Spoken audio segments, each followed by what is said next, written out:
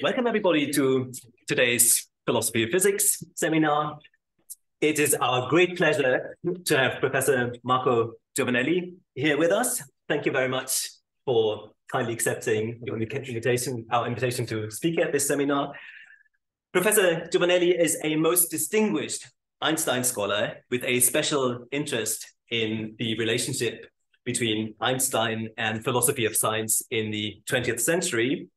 He's also the author of the Stanford Encyclopedia um, entry on Einstein and the philosophy of science. His work is chock full with breathtaking erudition and profound insights. Some of his, some of my all-time favorites of his wonderfully illuminating papers are on the Einstein-Reichenbach correspondence regarding unified field theories, logical empiricism and its relationship to the Riemannian and Helmholtzian tradition of mathematics, Einstein's struggles with coordinates and the point coincidence argument, and last but not least, Einstein's treatment of rods and clocks in relativity theory. Professor Giovanelli obtained his double PhD in 2005 from the University of Zurich and the University of Turin with a thesis on reality and negation, Kant's principle of anticipation of perception and investigation of its impact on the post-Kantian debate. After various postdoctoral positions in Tübingen, Turin, and Caltech, where he was the um, where he was the co-editor of and continues to be the external um, co-editor for the Einstein paper archives. He obtained his full habilitation in 2018 on what is truth, Einstein on rods and clocks in relativity theory from the University of Tübingen. And since 2020, he is professor of philosophy at the University of Turin.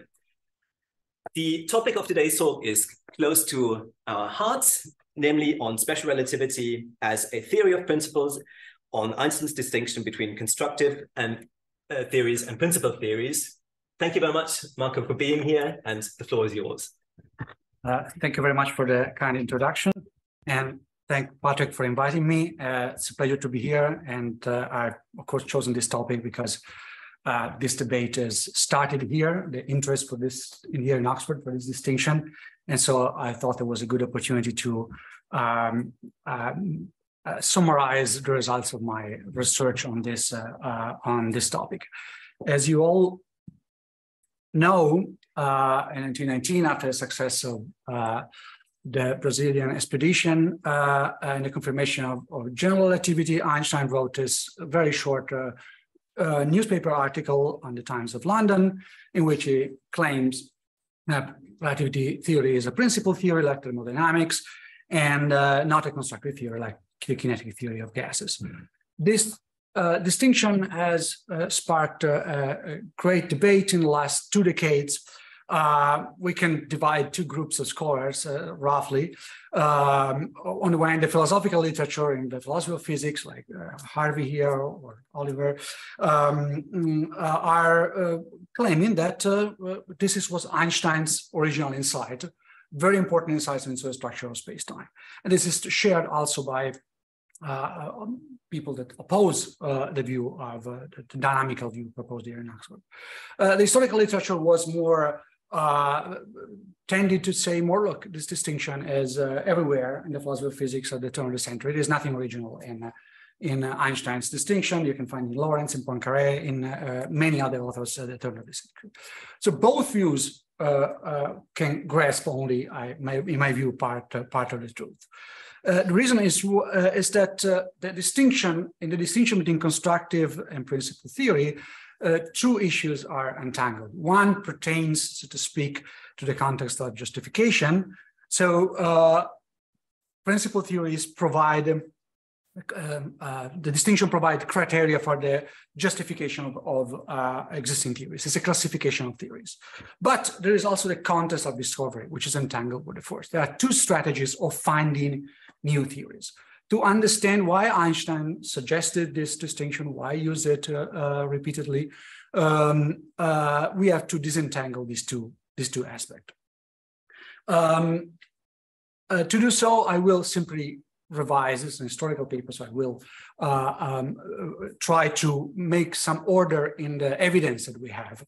Uh, the comparison with relativity theory and thermodynamics was introduced much earlier than 1919 by Einstein, already already 1907 for the first time apparently, um, and used several times in the so-called Swiss years. So when uh, Einstein was still in Switzerland, uh, let's call it theologically an apologetic uh, use of this uh, distinction. Einstein wa wanted to defend relativity theory against a very specific objection.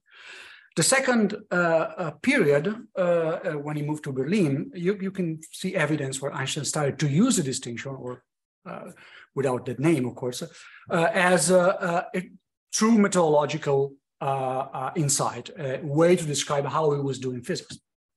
And finally, in the Princeton years, when he was asked to some recollection about his uh, discovery of relativity theory, uh, he will uh, more clearly claim that he uh, uh, um, um, followed explicitly uh, with conviction the model of thermodynamics. And he will also explain why he decided to follow that model.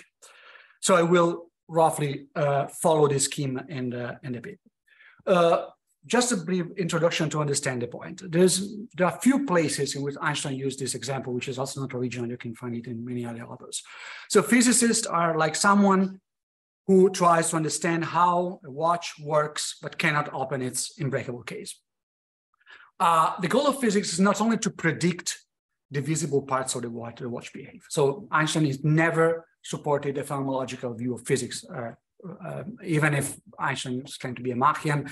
I don't think that even a young Einstein never supported this view that physics should only predict the, the behavior of measurable quantities. Uh, the goal of physics is, of course, as a, as a metaphor analogy, is to understand, to explain why the, the clock works as it works, why the, the parts that we see of the clock works as they do. And to do this, uh, physics must formulate a theory. So formulate a theory that allowing that allows the construction of an hypothetical model of the of the clockwork. Uh, this is the goal of physics, to construct a model of the clockwork. So Einstein never, uh, never uh, negates this, uh, this simple uh, premise. The, the problem is, how can we discover uh, this, this theory? but we have two strategies. One might, what we call the constructive strategy. One can search for dynamical laws directly, allow to construct these models. If you don't find it, you have to modify these laws and hope to find the proper law that will account for what you observe uh, uh, for the for the proper account would to allow you to formulate the proper model of the clock. Or you can use the principal strategy, an indirect strategy.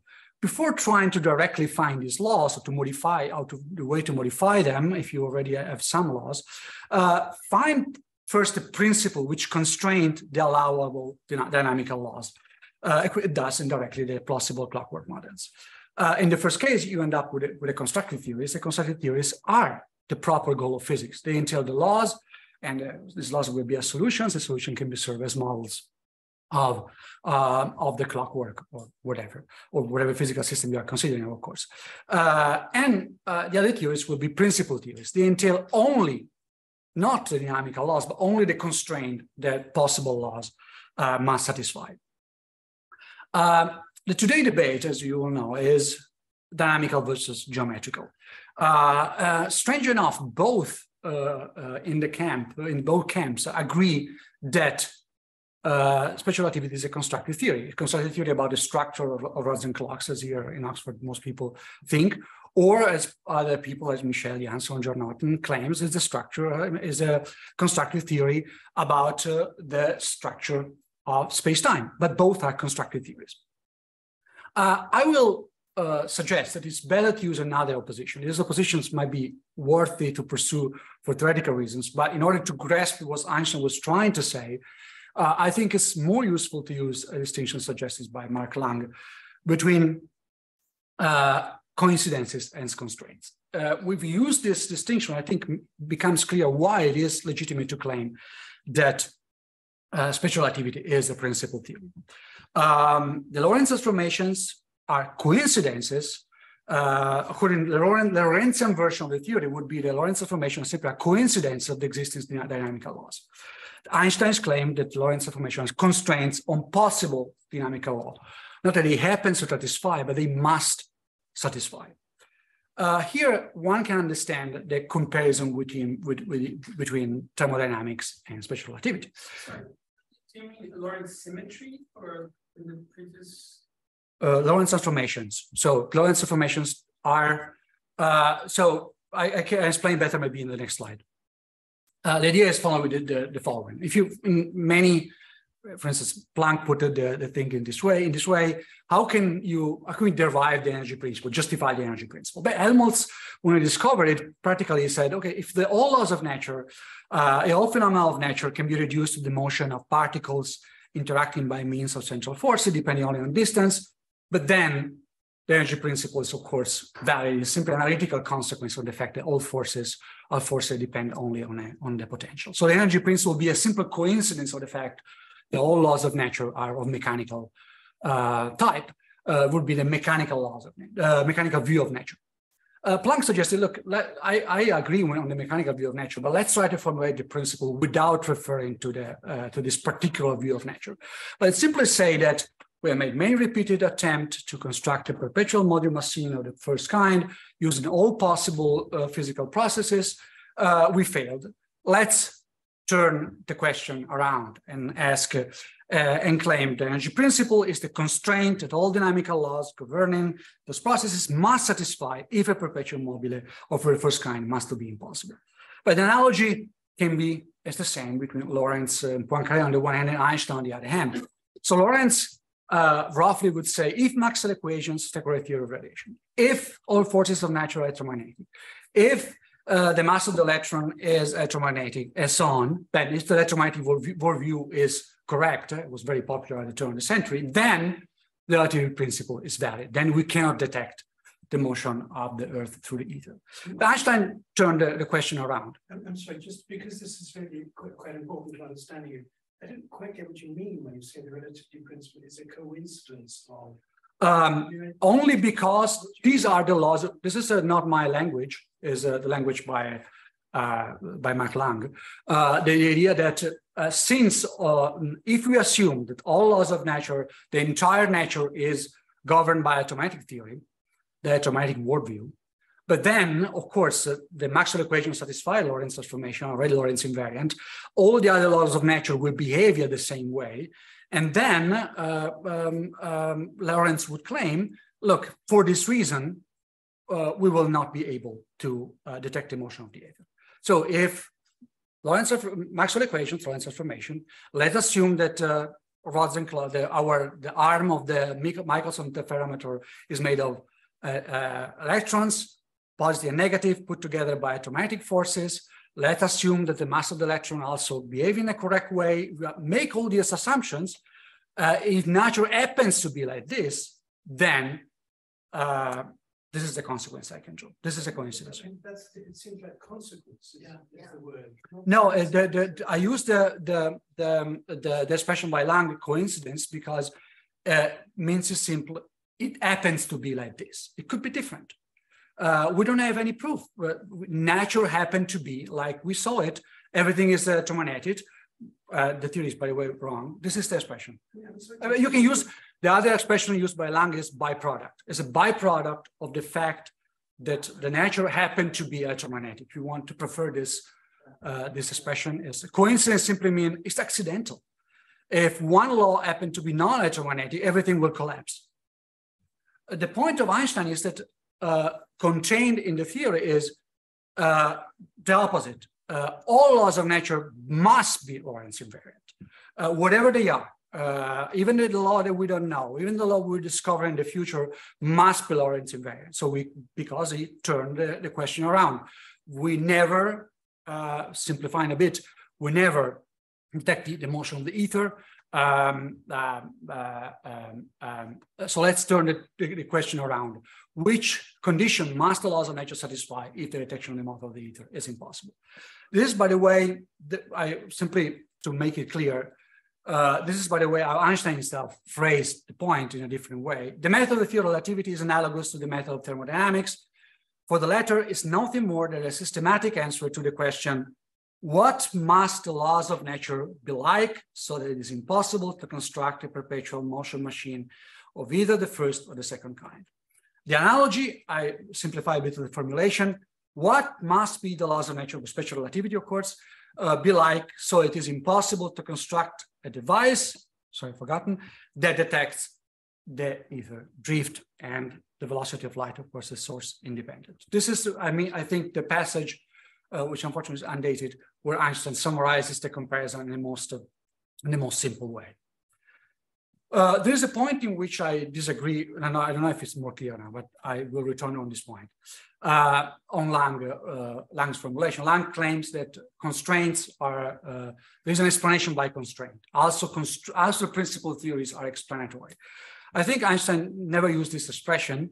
Uh, I think what is important uh, is that principal theories are indeed constraining. They limit the number of possible the possibilities. So they have a justificatory role in the sense that allow for the selection of possible laws of nature. Laws of nature which are not Lorentz invariant will be rejected and to be modified so they become Lorentz invariant.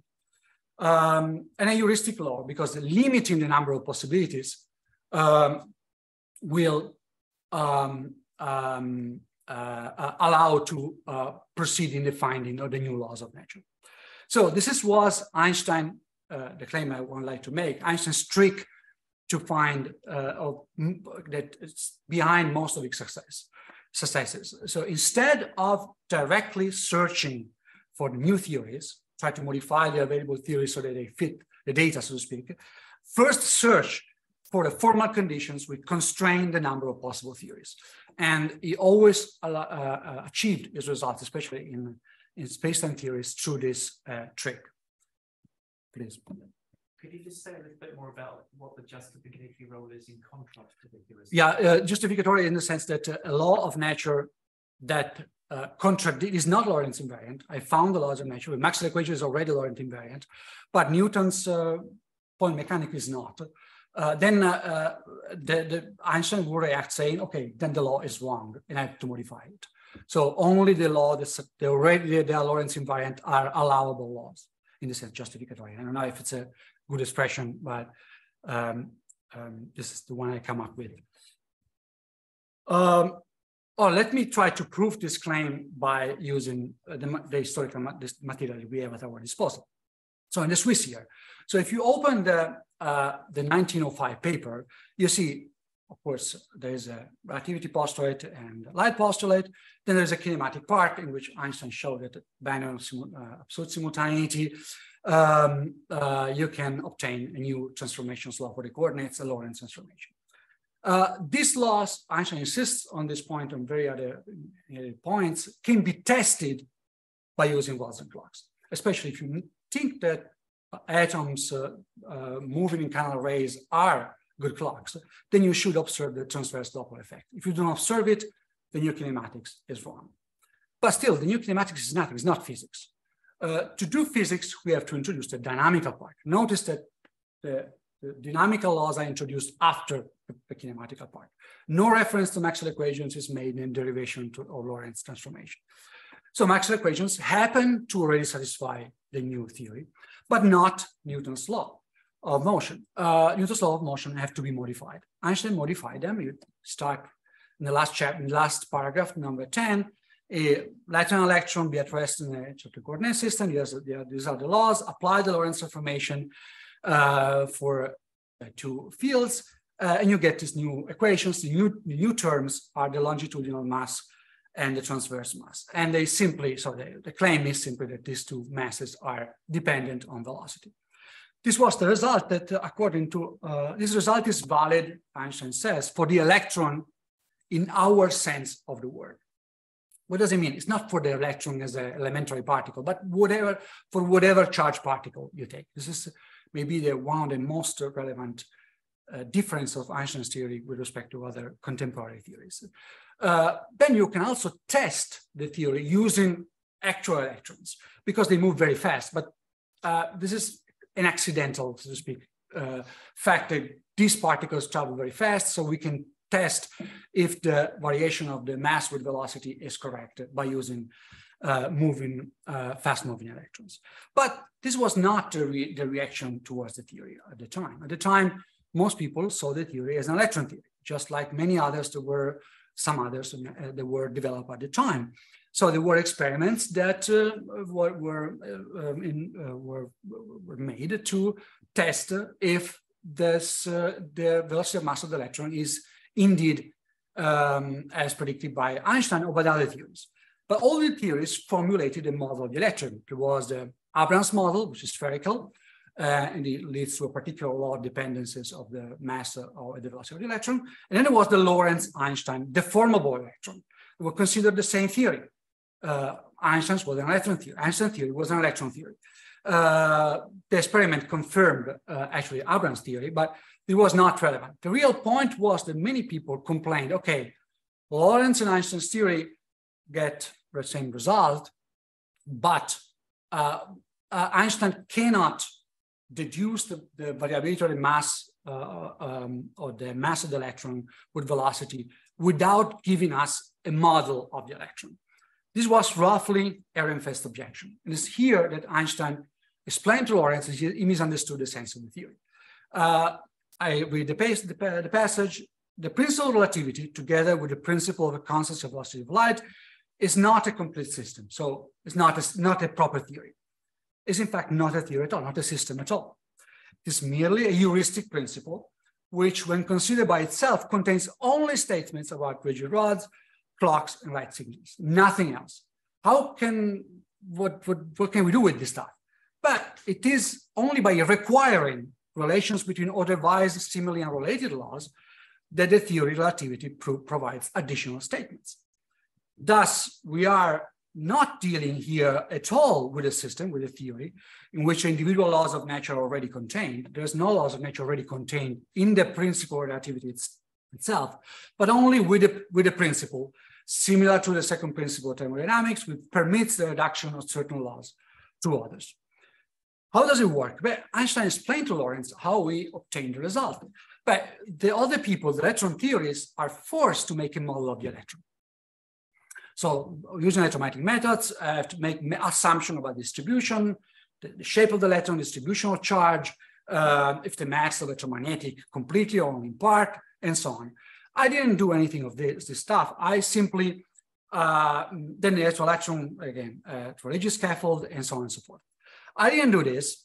I simply proceeded in this way. I started with um, uh, from the law of acceleration slowly moving electron, which is assumed from experience, uh, Newton's law, applied to charged particle in a, in a, in a, in electromagnetic field.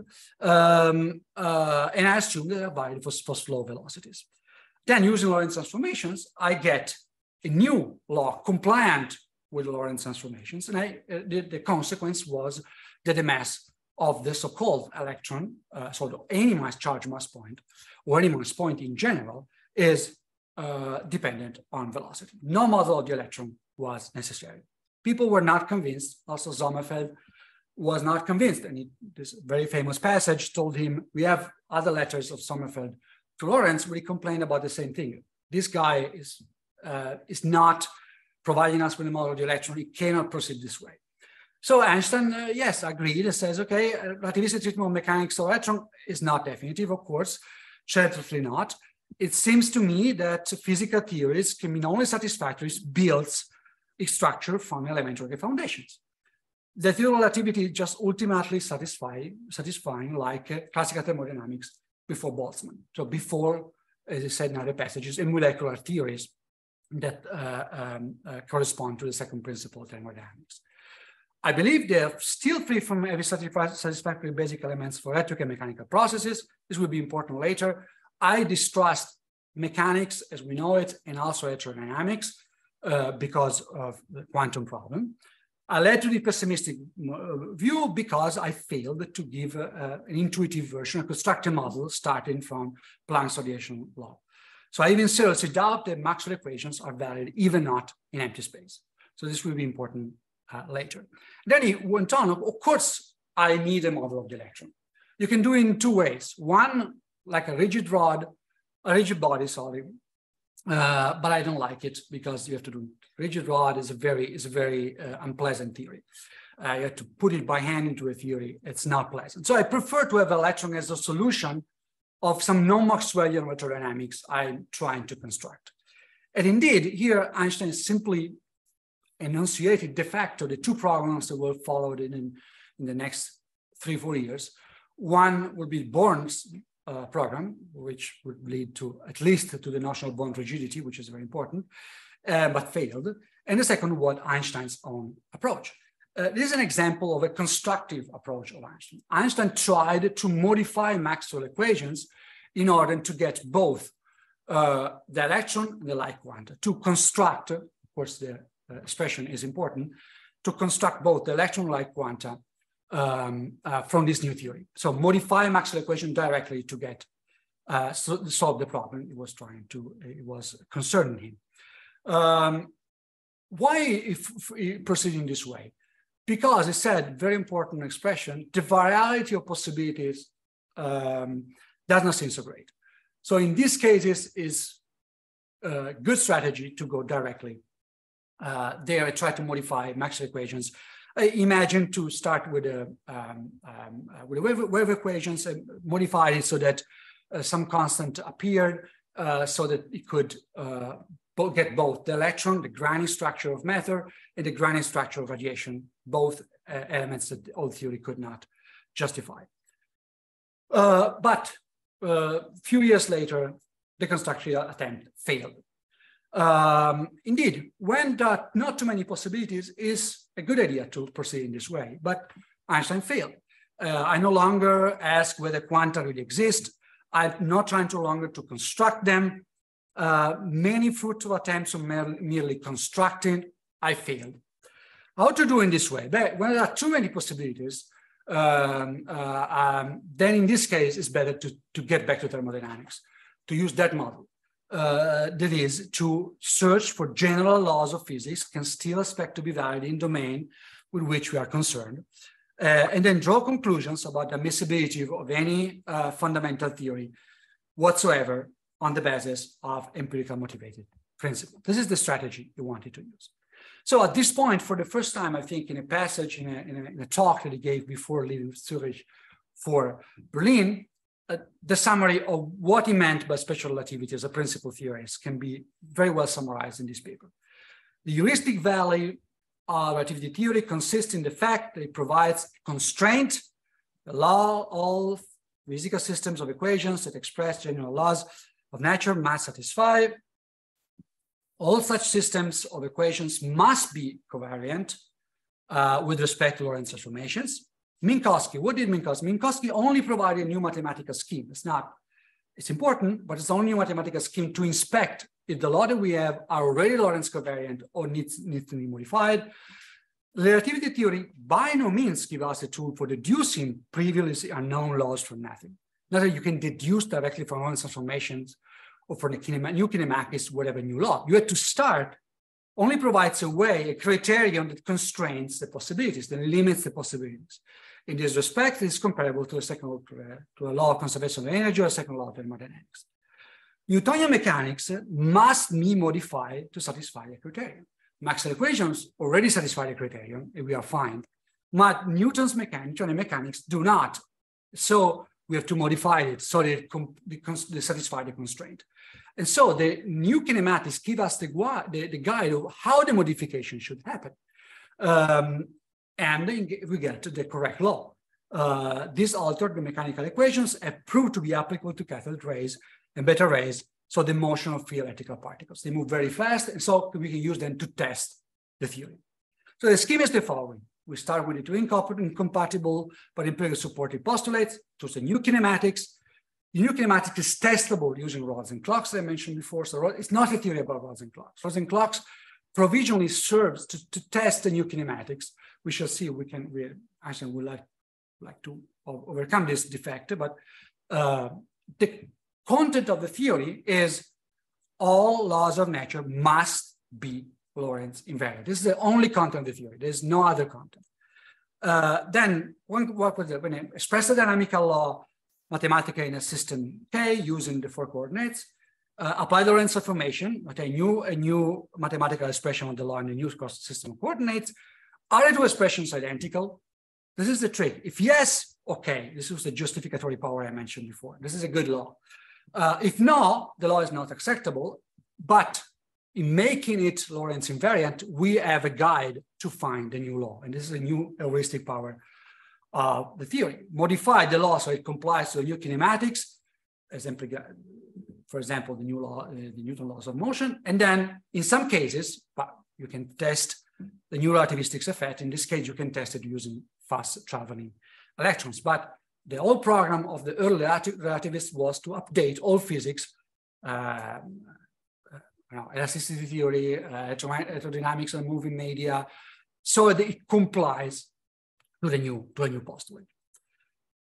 So Einstein then moved to Berlin. And as mentioned before, in Berlin, Einstein started to develop this uh, heuristic trick in a more general perspective. So I think that the, the, the, the, passage that summarized very well what Einstein had in mind is this very famous passage here. The researcher should eavesdrop eavesdrop from nature, uh, general principles on nature by recognizing in larger sets of empirical facts certain general traits that can be sharply formulated, formulated mathematically. So the idea in general, beyond special relativity, is search for some generalizable empirical facts, no perpetuum mobile, no ether drift, so on. Expressed in mathematically formulated principles, energy principle, entropy principle, Lorentz transformations, and so on elevate these principles to constraints that all laws of nature have to satisfy uh, if those facts, sorry, uh, all. Check whether the known well-established individual laws satisfy the constraint. If not, modifying them so, they do so. And then some of these modifications might be testable empirically uh, uh at the end uh, Einstein says, okay, there are two, two fields I'm, which I'm working on. One is a quantum field, the quantum research field, uh, the, field of, the field of quantum theory. We have a lot of empirical data. We know that uh, um, Newtonian mechanics is clearly not valid. Probably also Maxwell electrodynamics is not valid. But I don't have a principle to guide me to modify them and to find a new theory. In gravitational research, I have a principle, but I don't, I don't have enough um, empirical material. So it's important to see how Einstein applied this very heuristic method to general relativity as well.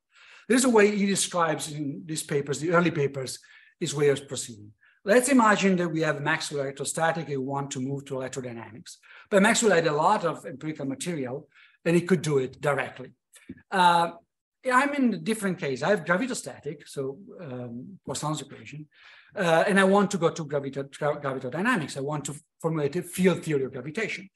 Problem, uh, I quote from several passages with the same tenor, seemed hopeless at first because of the arbitrariness resulting of multiple possibilities, too many possibilities. Strategy, search for a principle that limits the confusing mind of all possibilities. Solution, the theoretical route is almost completely given uh, if assume the general validity of the, uh, the empirical law of the equivalence principles. From that, simplified a lot, uh, Einstein claimed there's no privileged uh, coordinate system, so the principle of general covariance is the last formulations of this new principle. We know it was skeptical at the beginning, he tried to avoid general covariance, but then he get back in, 19, in 1915. And again, the language is the same. First, he says, I'm in a chaos of possibilities. Then in November, in the first paper of the series of November 15, says demand a general covariant, covariance, limit the possibilities. In March, um, after finishing the, the, the, the field equations, of course, says the general principle of relativity, however, does not allow me to go further. I found a new theory of gravitation, but I couldn't go further because the general principle of relativity does not allow further limitation of the possibilities. Uh, this guy, Hilbert, is trying to go further using only the principle of general relativity, is clearly mistaken, uh, formulating hypotheses about the structural matter of the electron is wrong. Uh, we don't have another way to further constrain the possibilities. So this is like exactly the spirit of the Einstein versus Hilbert. Uh, we can find it in a strange passage here. Is a strange passage from a diary of uh, Rudolf Humm, was a mathematician student of Hilbert, and he met Einstein once, uh, I think in Göttingen.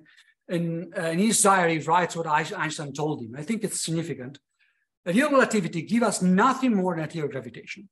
The thought of constructing a picture of the world uh, from his from his imagination is referring to um, uh, to Einstein, of course, is magnificent, but it could lead to something. But history teaches that such attempts uh, come to grief. Uh, the variety of tensor types is far too great. Again, too many possibilities. And one could not say which one should be chosen for the foundational electrodynamics. It is bold to get a complete picture of the world, how difficult uh, it was to construct complete model of the world. I noticed many years ago, and this was a theory I mentioned before, when I tried to explain why the electron was not flying, um, was flying apart, was not to try to avoid the electron was flying apart. So the electron is a concentration of negative charge, should fly apart. Why it does not fly apart? Um, Einstein uh, tried to formulate that theory I mentioned before, modifying Maxwell electrodynamics, but I had to give up. So better not proceed in this way. And here emerged the comparison with thermodynamics. I compared relativity theory with thermodynamics, not because of reference to the content, I love the method. Both rely on the general principles, they're mobile. No state of motion is single out with respect to others. Both derive the general principles uh, from general principle, their consequence, without resorting to model-like theory, which goes into details. Here lies the liability, but also the limit. So here the distinction is already formulated. Uh, uh, why Einstein was so insisting, insisting on this comparison at this time? Because he was receiving two objections. One that was telling you, oh, the theory is very speculative. Um, um, uh, Einstein wanted to say, no, look, it's not speculative at all. It's based on an empirical fact, uh, just like thermodynamics. The theory is empty, does not have any content, no intuitive content, provides no models. We don't know if words is made of particles, fields, doesn't give any answer. Uh, but the theory indeed doesn't give any answer because the theory serves only to cope with relativity theory stricto sensu. It's only a requirement of general covariance, only to cope with the embarras de richesse. There are too many possibilities, and the theory only limited these possibilities. So all these materials simply then end up in the in the final paper that we all the, the all know. There's nothing new in this paper. Einstein simply summarized using the same language he used before uh, his view as, of physics, not only relativity, of his style of doing physics, I would suggest. So constructive theories try to construct a model, uh, and you can proceed like this. I tried, usually I failed. Principle theory starts from universally recognized empirical facts and search analytically for mathematically formulated criteria that any possible dynamical law must satisfy so that those facts as to hold. This is so for special and also, in cases more complicated, with uh, general relativity. Uh, Einstein was aware that if you don't have the principle, you got lost.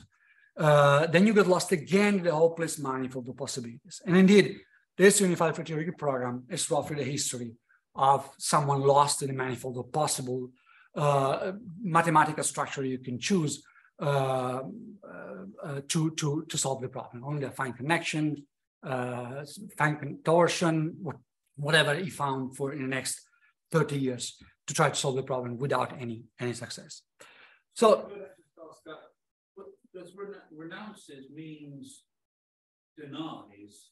Yeah, we don't, we don't maybe it was not a good, if one does not have the, relativity principle uh, and, uh, or, or, something comparable, there are the passages in which clearly says without a principle, there are too many possibilities, you are lost a certain point, as I, I cut uh, some slides, but uh, right. So if you renounce both of those, so you don't have a tutorial disposable a new principle, you get lost. Uh, there are other letters to and says you need a principle. Uh, without the principle, you'll again lost. At the end, you will not find the principle and say, okay, the mathematical simplicity is, is enough. And uh, but okay, I don't want to discuss this here. Maybe later. So uh, the other set of documents, the Princeton years, that I think are interesting. This is, a, I mentioned only very different other documents, but this is a very famous passage again.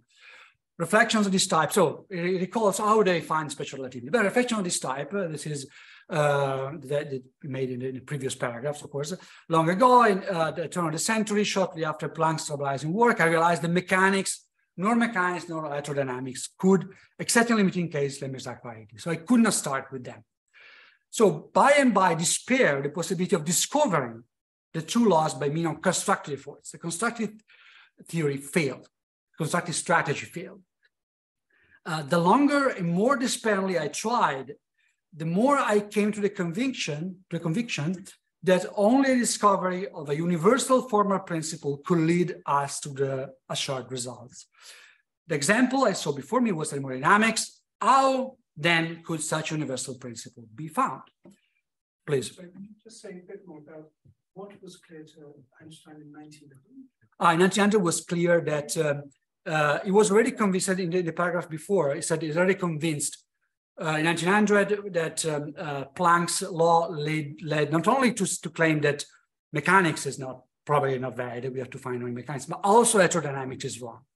He was already convinced in 1905, or in 1900, this may be uh, exaggerated. In 1900. Yes, of course. Uh, the Planck's work in, on, on radiation. Yes, I know it. I think so. Uh, discuss it after. Uh, we can. It can be that uh, uh, as 1900. Uh, his claim is that in, in the.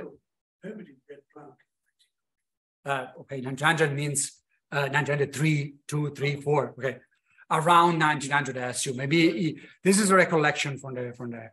Uh, his claim, his strong claim, is of course uh, most agreed at the time that uh, mechanics should have been modified. I was the only one. Already have the argument, the argument of the uh of the two on radiation in a, in a, in a mirror, mirror immersion radiation, and he already noticed that also electrodynamics probably should have been modified. Uh, we don't know because the example that this uh, thought experiment was formulated in 1909, but his claim here is already formulated the, the thought experiment uh, before. By the way, we know from letters to, to that already in 1905, when he wrote uh, the, um, the paper on quantum hypothesis, he wanted to attack directly Planck and saying Planck is wrong, but Besso told him not to, not to do it because for academic reasons, roughly, so simplify the bit. Um, uh, anyway, this is a recollection from uh, how many years later? 50 years later. No, no, sorry, uh, 40 years later. Uh, many of these recollections, by the way, are not uh, trustworthy. So I don't know if it's true that he uh, expressly followed the model of thermodynamics. This is what he was saying here. And for instance, only, only all these recollections about GR in this uh, very uh, paper are wrong. Uh, by the way, he says the GR found speculative is not true. I mean, there's a way of reading it when he says reflections of this type made it clear as long ago as 900. The evidence was there for those who were aware of it. That he then became aware of it a little bit after. Yeah, maybe, maybe. But uh, I mean, I there was another slides with the passages before. He say, okay, look, I, I already formulated before 1905. This is the point. Before 1905, I was already convinced that Maxwell equations was wrong, were wrong. We see now why. Uh, how to find the solutions? I have plenty of experience. Uh, all equivalence, uh, all interference are equivalent. Plenty of experience knowledge says, yeah, even this one, we don't know. This is a letter, a contemporary letter to a French uh, scholar, um, of light was secured, uh, thereby excluding emission theory of light. the apparent incompatibility forced me to re reconsider, of course, the, the meaning of coordinates in physics, starting from the formal content, uh, the compatibility expressed in the sentence, the physical laws are invariant with respect to the group Lorentz informations. Of course, this is a restrictive principle of the laws of nature, uh, comparable to the restricting principles of the uh, non-existent perpetual mobile, um, which underlies thermodynamics. With restricting is sometimes translated with constraining or uh, uh, Einschränkend in, in, German. So this is the comparison between thermodynamics and relativity. Uh, the non-existent perpetual mobile, so thermodynamics could be formulated without any reference to mechanics um, um, uh, in, the, in the classical thermodynamics, of course. Relativity theory could be formulated without any reference to electrodynamics. Indeed, why not? Why already knew the Maxwell equations were wrong. Maxwell equations imply the Lorentz group. So Maxwell equations uh, already comply with the Lorentz group, but the Lorentz group does not imply Maxwell equations. So the Maxwell equation was wrong, the Lorentz group would, would, would survive. Lorentz group is deeper than Maxwell equations. Lorentz group might indeed be defined independently of Maxwell equations as a group within a transformation will leave C invariant. But in 1905, again, I already knew that radiation has an atomic atomistic structure. However, it's consoling that special relativity is based essentially only on the constancy, not an entire set of Maxwell equations, and not the presupposition of the reality of the Maxwell field. So the reason why he followed the model of thermodynamics was because of his distrust of Maxwell equations. He wanted the theory um, to be based on a more secure foundation than Maxwell equations because he suspected that they were wrong. So I come to the conclusion uh, that, again, inevitably to quote another very famous letter that Einstein wrote a few days, few weeks before his death. So someone told him, uh, it's Born told him, uh, look, someone is telling, um, uh, actually, um, um, forgotten his name, is uh, famous um, uh, Scottish scholar who wrote uh, a book on the history of electromagnetism. Sorry, I'm blanking on the name. Whittaker, sorry. Uh, uh, Whittaker has a chapter in the, in the second volume say, okay, Einstein. Uh, so uh, it was not really the, the discoverer was Lorentz Poincare. Einstein answers in this way. There is no doubt the special relativity with regards to development retrospect was ripe for discovery in 1905. Lorentz has already recognized that the transformations later named after him were essential for the analysis of Maxwell equations. So he started from Maxwell equations and Poincare deepened the knowledge, introducing notional group and so on. The new feature of relativity theory with respect to these attempts was the realizations that Lorentz transformation transcends its connection to Maxwell equations, so are deeper than Maxwell equations. Maxwell equations only happen to satisfy the Lorentz transformations, but they are not relevant, not essential. Um, it has to do with the natural, uh, very natural space-time. Uh, a further result, this is a passage which no one mentions, but uh, this is also important, um, is that the Lorentz invariance is a general condition for any physical theory. This is a real point of a new theory. For this any entails the the theory. This was for me of particular importance because I had already previously recognized that Maxwell's theory does not represent a microstructure of radiation. So it's interesting to see how uh, most physicists uh, close to Einstein at the time reacted to that very letter. So Born said the principle of relativity was more general and should be founded on considerations that which be still valid when Maxwell equations had to be discarded. Pauli again is the fourth, either Einstein formulated the invariance of laws of nature with respect to transformations as a general postulate which is more reliable than Maxwell equations. And Lanczos is assistant in, in the late 90s, uh, late 20s, sorry, I said late 20s. All uh, equations of physics uh, had to be revised in order to bring them in harmony with the relativity principle. If a law does not comply with the theory, the law had to be modified. So the, the, the Lorentz, sorry, the Lorentz transformations, Lorentz transformations are deeper than any single law of nature. So again, I reintroduced the distinctions that you don't like uh, I noticed between coincidences and constraints, which I borrow because uh, also because to give Lange the priority, uh, because I think it's, uh, his ideas are very close to what I would like to say. So I try to explain it again. Lorentz and Poincare simply say Lorentz transformation are the byproduct or the consequence, if you want, or the future of uh, the actual laws governing the field and matter uh, as a feature that these laws happen to possess. We happen to live in a world in which everything is made of electromagnetic fields. And so we got lucky. Uh, but it's a mere coincidence. Why the laws governing the fields are the same the law governing matter? It's a coincidence. There is no explanation for this in Lorentz theory. We got lucky. So the, uh, the theory of matter radiation, if this theory of matter radiation is correct, then we get Lorentz transformations, and then we cannot, then we cannot uh, detect the motion of the ether. Einstein do the opposite. Lorentz transformation are, the, are a requirement that all possible laws of nature, theories of matter and radiation must satisfy.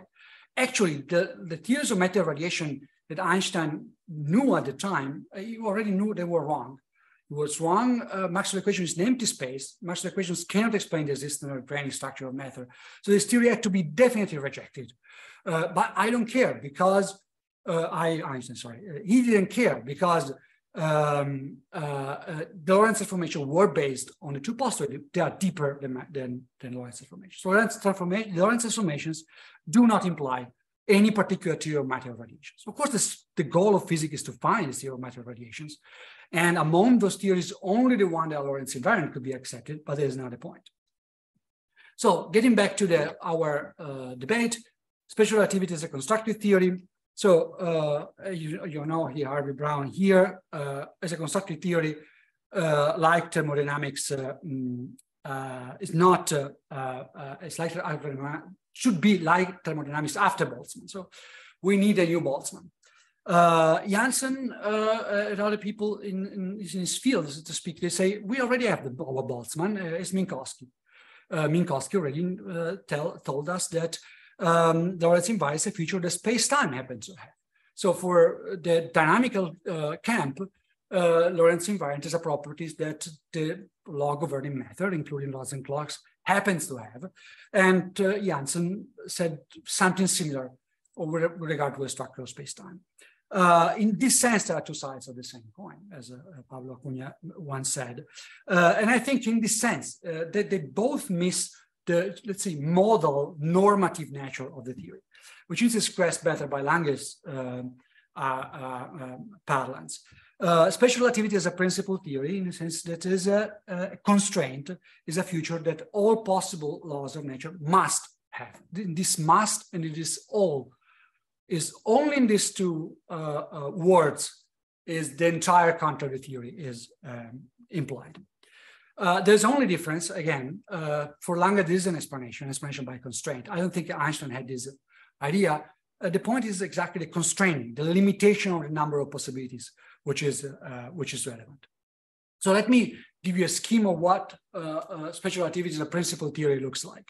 So again, a principle theory is entails only kinematics. We start with the two facts that we all know, the new kinematics uh, without absolute simultaneity to make them compatible. And we can test the theory with Rosen clocks provisionally. Then the counter of the theory, if the, of course the test is correct, all dynamical law must be compatible with new kinematics. This is the only content special relativity. It's a meta theory if you want. Then there are constructive theories. Uh, Einstein always claimed this is the goal of physics. The goal of physics is find constructive theories. Uh, these theories contain dynamical laws governing the behavior of particles and fields compatible with the new kinematics. Uh, uh particle mechanics, electromagnetism, elasticity. The most of the work of the relativists was to update these theories so that they become compatible with special relativity. Only one could be actually tested, and that was Newtonian mechanics, so to speak. So uh, through, through the motor, through the motion of the electron. But also elasticity theory, hydrodynamic, they were all made relativistic, but the effects could not be directly. Among, and here comes the other theme that is present in the debate, among these theories might have solutions, and some of these solutions might serve as and clocks. But again, this is not a question. We uh, here was I disagree with the dynamical camp here. Uh, so we'll, we will discuss later. It had to do with the explanation. That at the end, everything will be explained bottom up. Uh, yes, bottom up. But with a confirmation, this is a, a, holistic kind of confirmation. In principle, Einstein says many times, discussed this in another paper, um, only kinematics plus dynamics together can be confirmed empirically. This is roughly the scheme. So again, uh, coincidence and constraints in the sense, um, uh, special relativity principle theory. Principle theories are a class of possible theories, which are not proper theories. Uh, they contain not laws of nature, but only constraint that all laws of nature must satisfy. And this, again, these words are very important.